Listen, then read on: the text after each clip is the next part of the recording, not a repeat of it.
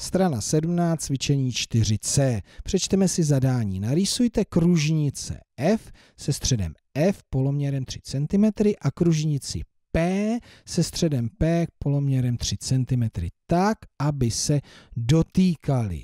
Nejdříve vypočítejte vzdálenost bodů F a P a narýsujte úsečku FP.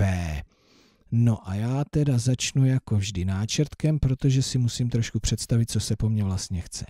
Mám tady dvě kružnice, které se mají dotýkat. Takže jedna kružnice má střed F, tak, nazývá se F, je to náčrtek.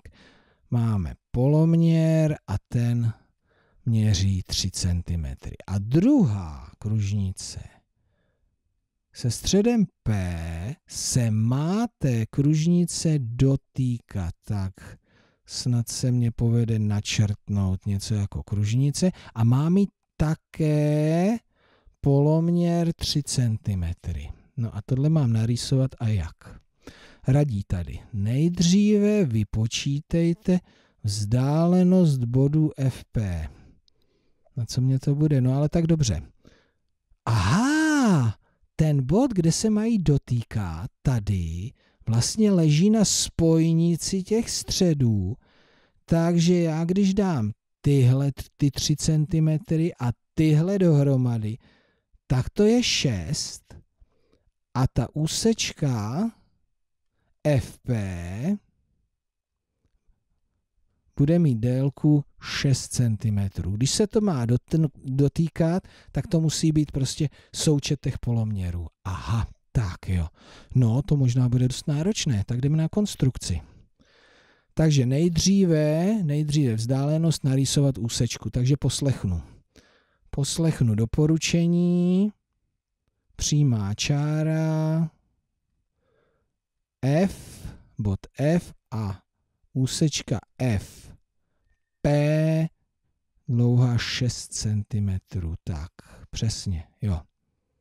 Tak, tak. FP a teďka si dáme bokem. Kružítko si vezmeme a teď to přijde. Přesně 3 cm. Uvidíme. Tak, je to. A uvidíme, jak jsem přesný přesně do středu.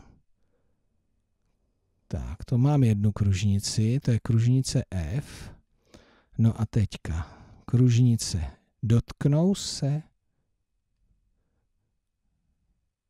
Jo, výborně. Takže kružnice a tady jsem také zapomněl napsat v tom náčrtku, že je P, tak jsem to tam doplnil teď a teďka tak. Tak a oni se opravdu, se mně povedlo, že se dotýkají. Byl jsem přesný, čili zápis.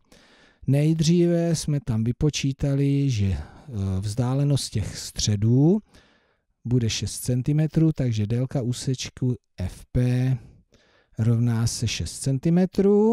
No a potom jsme narýsovali kružnici F se středem F, poloměrem 3 cm, a narýsovali jsme kružnici P se středem P a poloměrem také 3 cm a dokázali jsme to narýsovat tak, že kružnice kruž, kružnice F P se dotýkají.